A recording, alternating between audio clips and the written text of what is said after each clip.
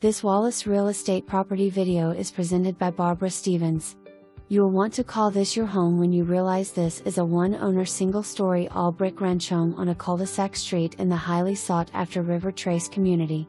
As you drive up the level driveway, you will have easy access into the carport, which has a secure additional storage room or workshop area attached. Quick entry into the family room is right off the carport. There is also a separate storage shed that conveys with the property. This cute home sits on an oversized, flat lot not only in the front, but also in the back.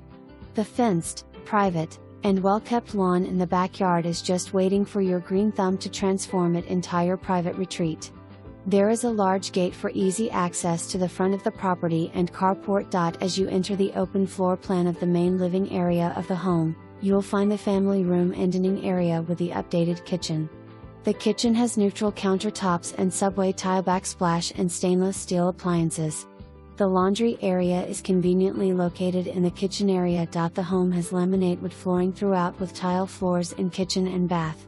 The bathroom has been updated with modern light fixture, mirror and vanity. The bedrooms are good size too. Showing start 10 6th open house Saturday, 10 7th from 2 to 4 p.m. For more information, review the details below or contact Barbara Stevens at 865 966 1111.